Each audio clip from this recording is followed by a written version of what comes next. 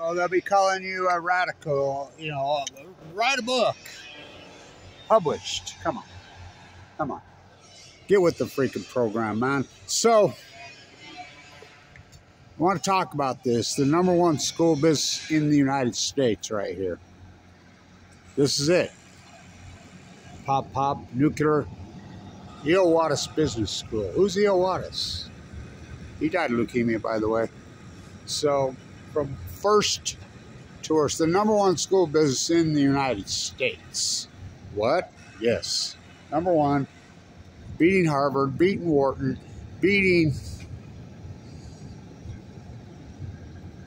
Yale, all the Ivy Leaguers. We're just killing it. And so I'm the student professor here. I'm being prepped to take over Clyde Cooley's legendary program, the most famous professor in the history of Utah. Most fam- the most famous finance professor in the country, bar none. And before I forget, you know, because I work, for, I went to Wall Street. Everybody that graduated went to Wall Street. One of the guys that was, you know, because I, I uh, taught the derivative arb class, and so I hedged portfolios. You know, all I did was buy high dividend yield stocks and roll puts underneath him. You know, my contemporary, who I know, I did know, whose grandson, who managed the Harvard endowment, famous because he always returned eight and a half percent. He always beat, you know, he always was ahead. You see, he died of leukemia. Young. The other big hedge fund guy here in Salt Lake, who I knew from here, died of cancer. I mean, it's, and I knew that. I remember a guy telling me when I was young, Kevin, you know, the Wall Street crowd, the derivative crowd, well, I says, they die young. Yeah, I do know that. So, I want to talk about this how Warren Buffett stole this school of business. Now, I was the young professor here, student professor. You know, I taught with Matt Godfrey. He taught here. He was a student professor for a while. Yeah, the mayor. Oh, don't get me going. So, the legendary finance professor Clyde Cooley, he was tough, man. I remember our, there was 17 of us in. The, the year that I graduated, I still have my shirt, 96, with a BA, there were 17 of us, including the heirs to the Japanese royal family, humanities system. They, they were incredible. 17 of us. You know what it started out with? Well over 400. He was vicious. He graded on the curb. Oh, yeah. Big time. You weren't getting no A's in his class. I mean, I got some A's. But, oh, God, it was brutal. He was brutal, but... So, you can see the date.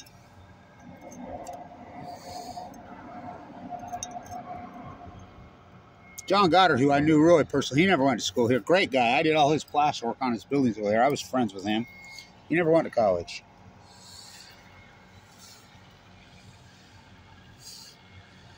I don't even know what was in that. That's Warren Buff signed that.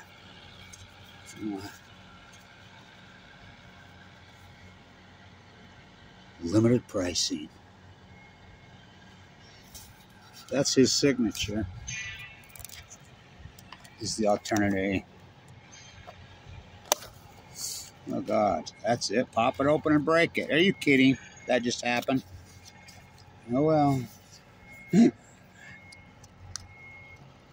I'll fix it. I don't think I've even opened it since. So, so a famous picture that's right here, Lee. He rolls here in 98. So we're the number one school business for a decade. All through the number one every year. We're beating Wharton. Wharton becomes our sister school. Elon Musk is at Wharton at the time.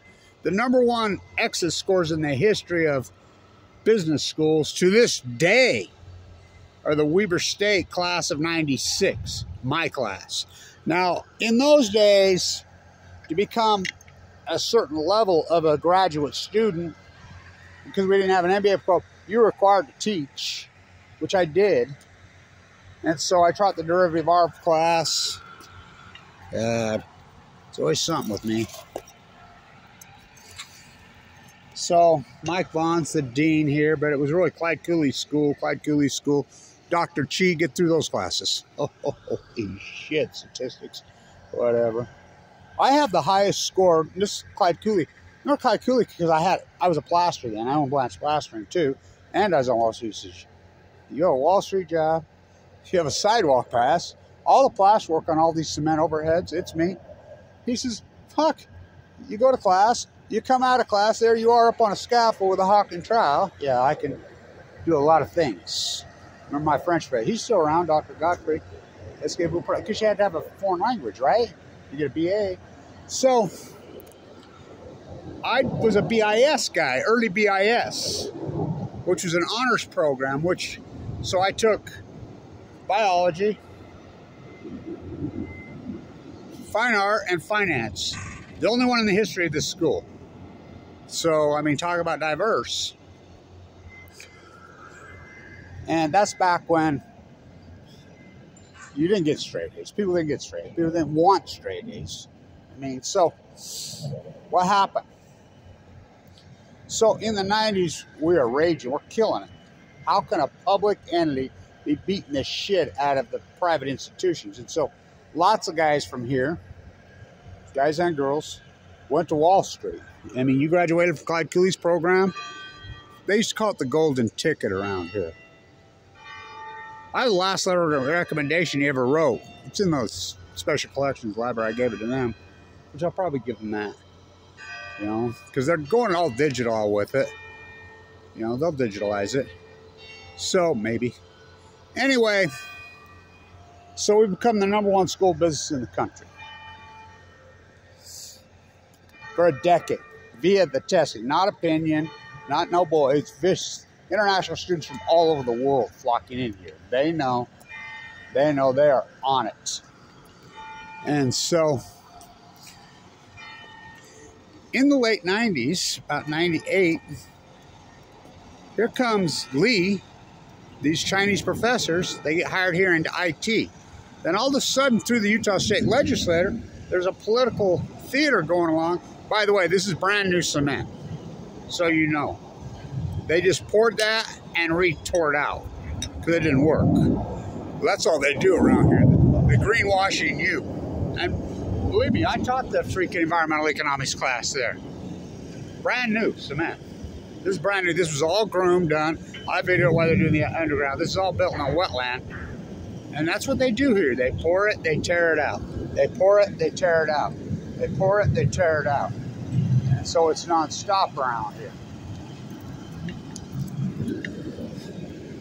concrete makes a giant footprint. So my classroom right there, right below here. So I knew David O. McKay personally when I was a kid. Education building being gutted. So this is an important video. So I would always use that door down there for all those years. So we don't have an MBA program. There's a law between the Utah State Legislature, these are state universities, that Utah State has on it. They used to do a satellite program through here.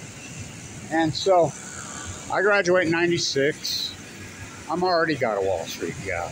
I already own blast Plastering. I'm doing multiple things. I'm very dynamic. I used to walk around. I mean, I made a lot of money on both. I mean, I was hands-on. I started plastering at 16 years old new descending down staircase. Oh boy. So I'd always go in this door here. Back in those days, so you know at Weber State, if you got a ticket, oh, I had so many tickets. Over there where the climbing center is now, which is a clown circus, a joke, they had a judge that would come in there once a month. That's all we hear. That's how we got sold the supply chain with those jets.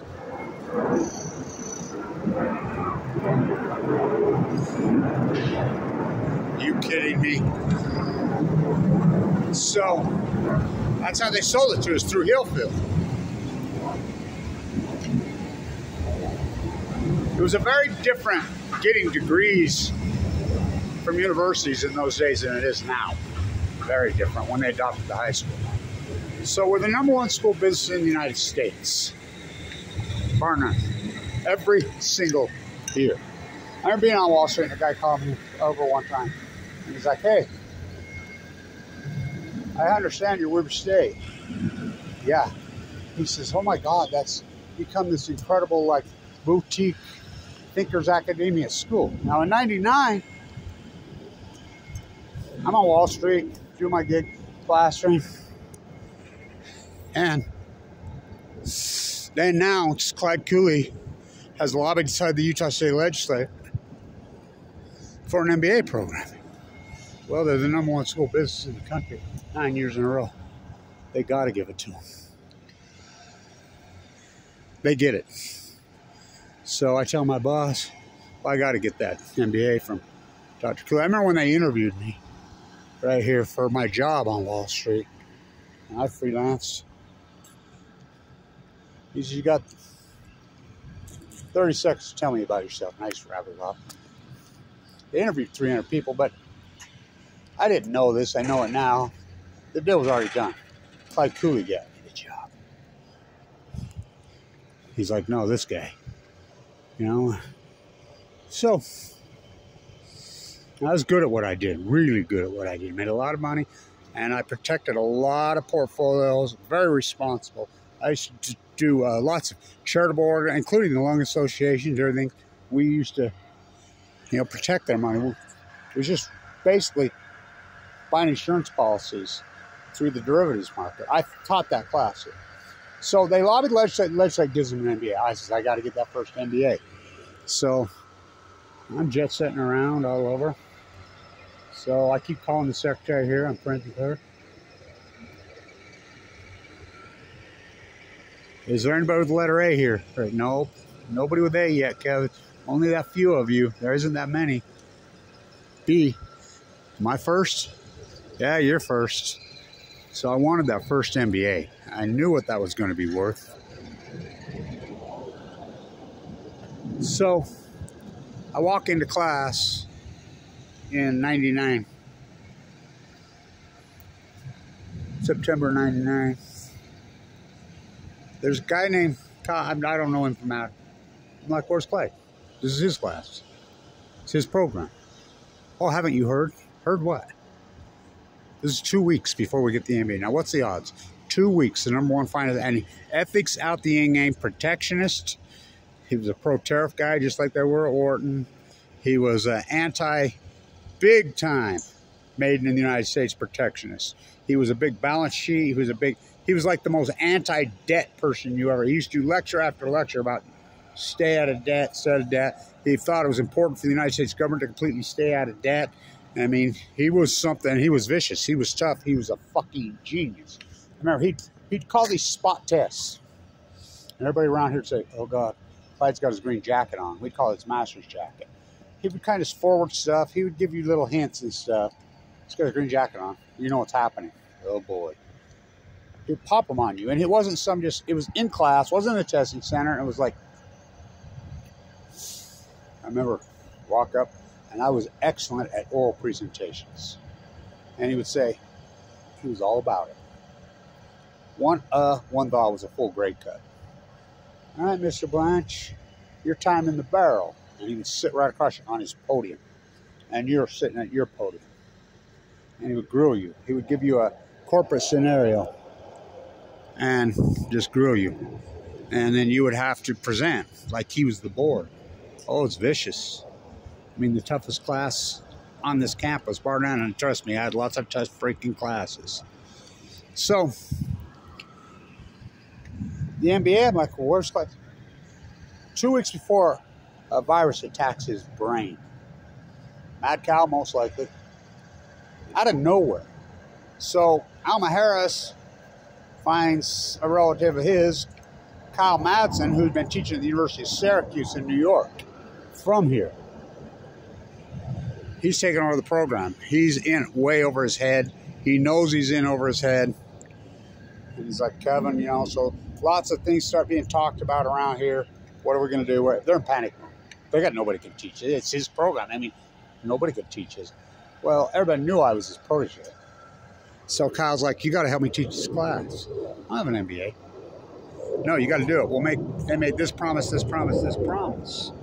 So, meantime, two years earlier, the year earlier, they'd been politicking the state of Utah to let supply chain. This is an economics and finance powerhouse, number one in the country. Be the test for year after year after year after year after year. Public school beating private.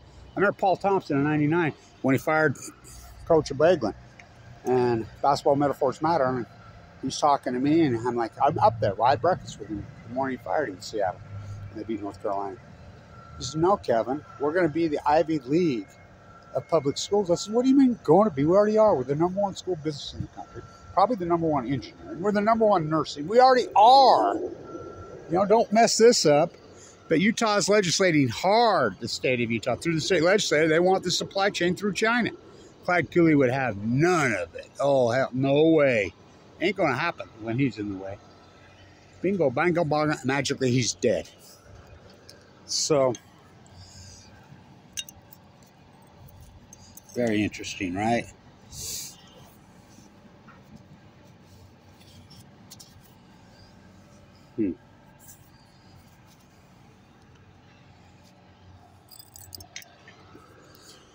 So, okay, I agree to do it. I'll help for the first MBA. You give me the first MBA, give me this perk, give me this perk. You know, I had plenty of money. I can give a fuck about money, man. I had tons of money. And, uh, I mean, that great big house I built, remember on West Weber in that area? That I built it with cash. I remember when the Wheelwright Lumber, you can go ask him, come out. Well, who's the bank? There's no bank financing. Bring a suitcase. And the lumber pile guy says, here, paid him in cash. By the way, he got fired because he ripped off. I knew he was going to rip off part of the guy. So don't steal part of it. They'll get you. Because I'm telling them, because I've took photographs of the guy. Oh, he, he couldn't help himself. He ripped some of it off. And anyway, what an era. So, out of nowhere, so I used to tell Lee, who that picture, AP's got a big article out right now showing Chinese influence FBI investigation, which has been going on for years. I've been feeding them all kinds of shit for years. Photograph right there. I bet I was telling Lee back then, just joking. What'd you put in Clyde Cooley's teeth? Yeah, I think it's a joke now. So, I'm running the MBA. So we have lots of Saudi kids here. We have lots of rich international kids. It's the number one school business in the country. Rich elite kids all over in here, and it's a beast to get through. So I'm teaching the investment class. I'm teaching the derivative arbitrage class. Now remember, this is the number one school business in the country. 99, 2000. So Buffett, who I never liked, he we get to go to his VIP meeting. So they invite me, Blanch, Dr. Vaughn, and uh, the dean here, and all these people are like, I'm running the show. Come on, you got to go with us to the Berkshire shareholder meeting. Well, this is right when the market had capitulated on the Palm 3Com deal in March of, again, March 11th, I believe it was, 2020. Whoa, what a date. Everything happens on that. I was part of that group, and I knew how corrupt that was. The Palm 3Com deal was so corrupt, you know, it was unbelievable, and I knew it. And uh, so the CPI was coming. We did the CPI for the state, the PPI. We did it. I would always forecast it. And I remember Kyle Madsen saying, I've never seen you get it wrong. And then Dr. Vaughn says, I've never seen you get it wrong. You got it wrong this time. He says Greenspan was going to raise. I says, no, I didn't get it wrong. I didn't say that. I says, inflation's starting to rear its head. We know who got it wrong. Greenspan got it wrong. Slashing rates when he should have been raising. And Cooley was a big anti-inflation guy. I mean, hardcore. I mean, this guy was vicious. He was the best. He was I mean, his average grade, I think, was a D plus. So they invite me. I fly on Bill Childs. Now, Bill Childs owned RC Willey's. Bill Childs sold RC Willey's to Warren Buffett. So I fly in his Learjet, go back. So Buffett starts to make a big deal about us, Weber State, because we're the number one school business. So we get invited to his private party. Now, if you go to the shareholder meeting, you have to have X amount of You have to have 100 shares to get into what you call the yellow party. You know how much money that is? Even then. We get invited, we get to go. So there's Buffett with his entourage. Looked like a, you know, football team, his security detail. We walk through. Yeah, yeah, we get to meet everybody's gaga. I really don't want to meet the fuckhead. I'm not impressed. Listen, I dealt with freaking rich, wealthy oligarch type people my whole life. I mean, I've never been impressed by those type of fucking people. I'm still not. I mean, I used to tell a lot of these people, hey, you want my, I tell Lillard when I see him all the time. I know, hey, Damon, you want my autograph? I'm not impressed. And so I walk through and I says, well, you know, Mr. Buffett, 2000, he was having a bad year because he wouldn't buy dot-com stocks. And uh, I says, you know what I say about you having a, bad year? And he was snootier than fuck. What the fuck that mean? And I says, even Babe Ruth had slumps, you know. I walked off. Kyle's like, hey, hey, hey, he's waving you back. He's waving you back. He's waving you back. Fuck, he's just beaming. He's a baseball guy.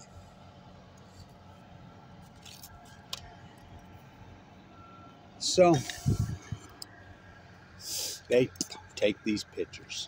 They send it to the school framed with me with the arm around, signed by Buffett, hung on the wall. There's also his best buddy in that era, right before Cooley died, had came here with Bill Bill Gates and Warren Buffett came here, and Alma Harris was the dean there, and they wanted us to go play golf. Clyde Cooley, is Clyde perfect condition. The guy looked so good. He was 68 when he died, but he looked like he was 48. Just flawless, healthy. He refused to go. He didn't like it. So I got volunteered. There used to be a picture in there of all of us playing golf. And, and you know, I used to always tell my daughters, if I ever become one of those middle-aged fucking geeky ass golfers, take a nine iron and hit me right behind the fucking ear as hard as you can. I had to go home take about six showers. I knew that Bill Gates is the guy who stole the operating system here. The operating system was invented here. Bruce Bastian, David O. McKay's grandson, Alan Ashton. Bruce Bastian's related to Warren. They invented it, the band, BYU. WordPerfect had the, we had to learn WordPerfect. We used nothing but WordPerfect in there. And Novell. My brother was this uh, human resources head dude there. I mean, everybody, it was all the rage, the market. Iomega was here the, guy, kid that was leaking all that stuff to Motley Fool, the first of up here, going to school here, I knew him. He got busted, him and his dad. They worked out, they were leaking all that. I mean, it was nuts in those days. It's like I talked to what's his name's dad. He was in my class, he's playing football. And he says, Yeah, all we did, Blanch. He says, You taught the class out there, all we did was the Wattis Lab trade arbitrage, uh, derivatives all day, every day. That's all we did. I said, yeah. So I taught the derivative arb class. Lots of Saudi kids in my class. So I teach people how to use puts and calls, strides, straddles, two up, one down, two down.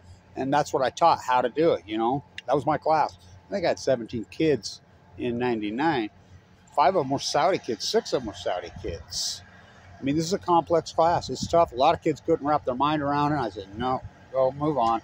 Go do something else. So, when 9 11 happened, Clyde Cooley had passed away in November of 99. I was a Comdex when he died, and I called back. I said, Kyle, how's Clyde doing? Haven't you heard? Heard what? He died. You didn't have nothing for him? What the fuck are you doing? You didn't call me? Oh, uh, he was jealous of freaking Clyde. He couldn't make a pimple on Clyde's ass. So it rolls around 2000. That year was nuts, right? The election. I remember doing an interview right there. We were saying you should have a television crew, and I was interviewed right there. Well, you know, Bush is ahead by one point in the polls. Who's going to? I said, no, Gore will win, the economy's too strong. There's no inflation. People vote on their wallet. Gore will win. Just because you know, that goes back to that fucking Carville. It's the economy, stupid. No, it's the ecology, stupid. If Carville's pink, it fucking stinks. He's a plant. And so, 9-11 happens. I've been in New York. I just got home. We had 14 students. Go ask Baxter. There, I'm like, oh, fuck, oh, fuck. When I saw it happen, I was in my big house. I got up here. FBI's all over in here. The secretary's, what the fuck? So I go up to the library. Fuck, it's all over. FBI's everywhere. And So Chris, who just retired, works reference desk, she retired this week. They're in there. They're passing out flyers already with people's names. I recognized. I said, those guys are in my class. So Kyle Madsen's lying for here for years. Kevin, you know they bought puts on the airline stocks. You're that you teach the derivative arb class, the number one school business. Kyle Madsen didn't even know what a derivative was or an option. I had to teach him.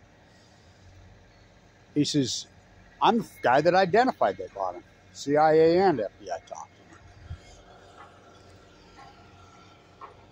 They were going to hire me to do some forensic accounting, you know, thing, and then they ended up getting rid of it because I remember interviewing, they didn't know what the, I mean, it was so far over their head. Kyle Madsen. They bought puts on the airline stocks way out of the money, tight to expiration, you know, for a penny a piece. Sold them for hundreds of dollars. But you ever think that you're the one that taught them how? I'm like, I very well could have. So Chris is at the reference desk. There used to be a courtesy phone upstairs in the library.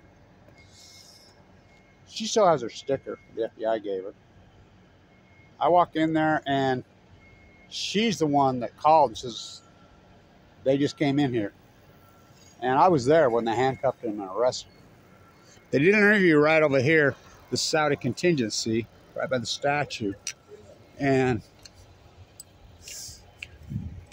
I think it was KSL, one of the news stations. And I says, well, what are you guys going to do? You know, we're flying out of the country. This is before anybody knew that they were flew all the Saudis out. That's, you know, if you don't think the United States is completely run by oligarchs, you sure didn't pay attention to 9-11. So, when Clyde's out of the picture, this became a nightmare here. It became a war. I mean, with these pro bootlickers, these lesser professors who were done. Dr. Chi resigned. Then, you know, different professors started to get cancer. Kyle Madsen, who's a non-smoker, got lung cancer.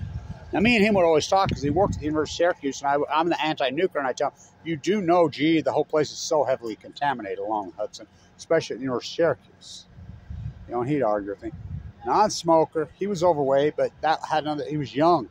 He got lung cancer in 2005, dead. His wife, who was a non-smoker, surgical nurse, just a couple years, lung cancer, dead. You know, that's who I would go back there with Kyle, his kids, you know. So the fight started here in earnest, and I'm defending Clyde Cooley. I mean, it is a war. And I mean, these guys started to play dirty with me. They started to really pull back on all the promises they made me. And this guy, fuck, I had plenty of money. I didn't give a fuck. I was sick of Wall Street. I was sick of the corruption. I was watching that happen. I'd resign. You know, I'm helping out here doing whatever. And then Annika died of cancer. You know, a couple of my very close loved ones got leukemia the same year that Clyde Cooley died, and they died. I was distraught. I was just had enough of it all, you know, and I just rejected it all. So here, 2004 or five, I'm like, I can't do it anymore. These guys became so dirty and so corrupt. So, and so and as it played out, the professor that took over mine, you can read it up. She forbid the Utah State legislators and students to go see the Dalai Lama when he was here. I mean, this thing became this Chinese supply chain through Childs, through Buffett, and just destroyed it. The testing started to just plummet. I was at the bar over there, and there was a professor from Indiana just a couple years ago drinking beer, and he's saying, "Well, we don't get good enough students here." I should have let him have it you know, I should have just probably kicked his ass. But I let him go on, and finally I told him, hey, hey, dude, you don't know what you're talking about. You go back to Indiana. You teach here now. Students can look up the scores. We have five major schools of business. A lot of the guys that resigned here went to Westminster, went to the University of Utah. You know, both Davises are dead. You know, Litchford's dead. I mean, I call it the Wattis curse. You know, they started to unravel and come on. They've had eight deans or nine deans since then. It's a fucking disaster. It's an absolute fucker. I mean, it's ranks like last. But now at Break Food, AP breaks the story, just like I've been saying for all these years. Chinese influence points to one place Utah, unlikely, Weber State School of Business. So they railroaded me, they blackballed me. they pulled every dirty fucking trick. They still owe me that first MBA. And I, I told Brad the other day, I'm not even sure I want that first fucking MBA, but you know, it is the class of 96, which is the highest exit scores in the history of fucking business school in the history to this day.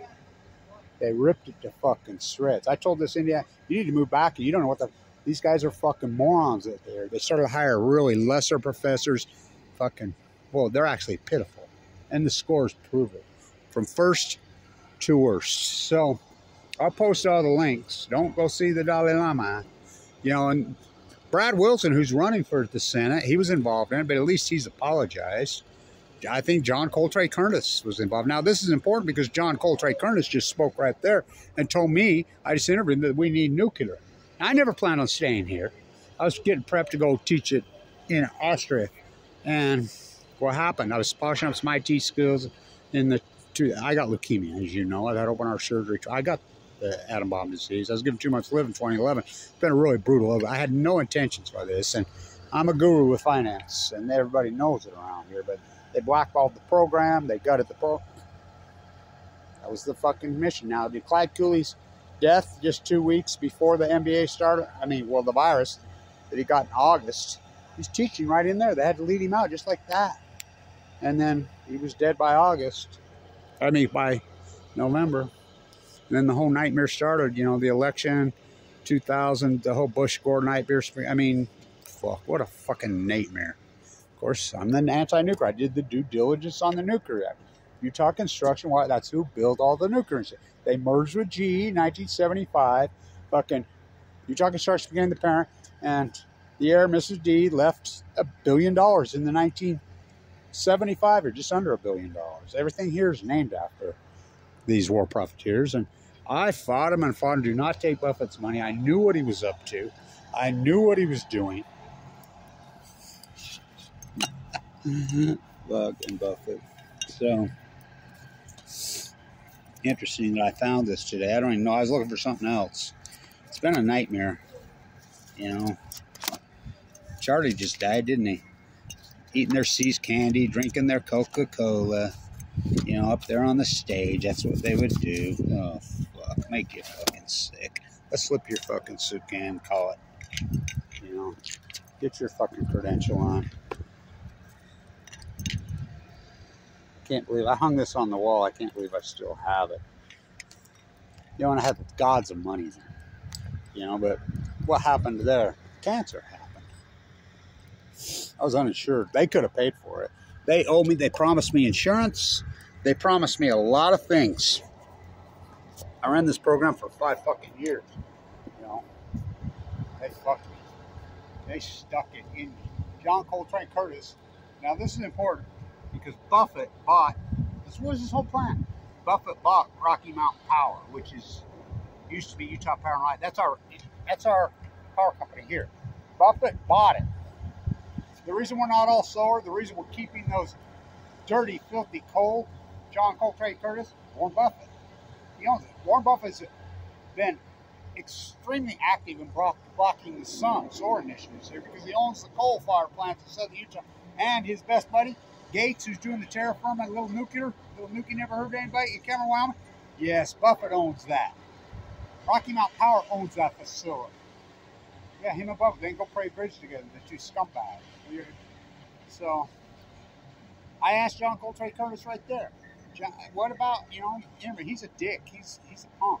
Way he talked to me, he's a dick. And so, he's like, you heard my three, yeah?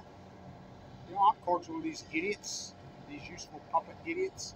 Well, we got to have nuclear, but we need the free market. On the free market and nuclear, that's talk about the greatest oxymoron. Talk about hedge a portfolio. Remember, we used to buy calls and puts at the same time. That's called the straddle, the stride, the strike. Two pull up, one down. You know, I mean, it's that simple of a fucking philosophy. It's a no, you can't lose that way. You know, you give up a little bit of the insurance policy, that's what good hedge funds do. It's a no-brainer. I taught that fucking thing for all those years. What they did to me, I had 30, I had 30 shares of, Tesla when I IPO. Play back the tape. Remember I kept telling you in 2011? Fuck doing videos every day. The market's crashing. For students, I mean, hey, hey, market's not going away. Double down in the market. The market was under 10,000 in fucking the summer of 2011. I'm like, go all in on Tesla. Go all in on Apple. They're so underpriced, it's fucking ridiculous. I'm a fundamental guy. I was not a techie. like Cooley, Clyde Cooley used to call technical trading a fucking clown service. He hated it. He was a fundamentalist. I mean, he just hammers on PE ratios, on fucking balance sheets, on fucking. I mean, if you came through here, oh, you could read a balance sheet. So, remember? I had fucking 30,000 shares of Tesla when it IPO. Play back the tape right here. Remember, they're playing my videos at fucking Berkeley. I remember kid and says, You changed me my grandfather's lives. He says, You know, I talked him into selling all his gold and silver on your advice and going all in Tesla and Apple. We made tens and tens of millions of dollars. I'm like, Well, why didn't you me that? These guys could have paid for my show, which legally they should. My bill was 1.8. I had to fork over all my stock portfolio in 2011, well over a million dollars of Apple and Tesla stock. Play back saying, what would that be worth today? Well, I'd never held it. You know, I wouldn't hold it. I guarantee I ain't going to hold it till, you know, you get up to 10, 20, 30 million, you take it. You, know, you don't leave all your profits on the fucking table. I mean, you would have traded it, arbitraged it, you know.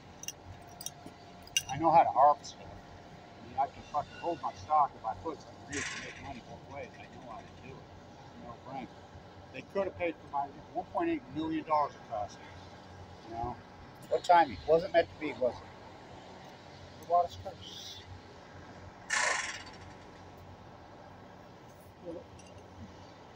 It's important. People don't read books. Please. This is a book published. You know, I don't care if it gets 20. It's like when you were young here, going to school in the day, and you're doing research. You had to go to the resource library. By the way, Sandy died of cancer. Her and I went to college together. She ran the resource library for all those years. me and her used to bat heads about southern Utah. She got a brain tumor recently and passed away young. It's very tragically. Remember, you'd research in the research library and research and hope you found something? And just hope? Somebody out of the goodness of their soul and their heart put it in there. It was hard, hard work. Not like you just do it online. That's what I am. I'm the research library and I'm free. I fought the JSTOR. I went to, I was in New York all those years. I knew Aaron Swartz personally. I mean, I fought the whole corruption. I watched it evolve when they went digital on Wall Street. The CBOE floor. I was such a famous trader. You'd call the fucking CBOE and say, hey, I just call them. Say, hey, can you Oh, hi, Mr. Blanch. How are you? What's your request today? Ah, Connexton. Can you write some fucking 220 calls? What expiration would you like? July's. And could you get me some August too? 220s, 225s. We'll see what we can do. They were always there the next day. 100 They knew my voice. I mean, I was that big of a fucking derivative trader. But cancer took care of that. Fucked me all up. You know, but I'm still alive. So many of these guys aren't. Gail Waters died of freaking cancer. He's the CEO of GE. They were the parent company, Utah Construction of GE. You know, the whole Ponzi scheme that Jack Welch was fucking orchestrating here. You know, I remember talking to Volcker standing right here about the Fed, and he told, I remember him talking about Greenspan. And I'm the guy that first started calling it Ayn Rand Greenspan. You know, he was huge. Cigars, he was smoking a cigar right here. Fuck, he's about seven foot tall. I think I have a picture with he and I right here. You know, a lot of famous people used to come here, was involved here. So, from first to worst, Buffett did it. You know, we'll cut it off there. Somebody should interview me, but I've been blackballed. I'm way too dangerous and hot to handle. Fucking dirtbags. You know, everybody's all fucking Google about Buffett. Not me. Not me. Don't even like him. Long live the legendary finance professor Clyde Cooley. He was a fucking genius. You know, they changed my grades. They took the my MBA. They fripped my insurance, all illegally. Why? I just told you why. From first to worst. How is that possible? Stay tuned.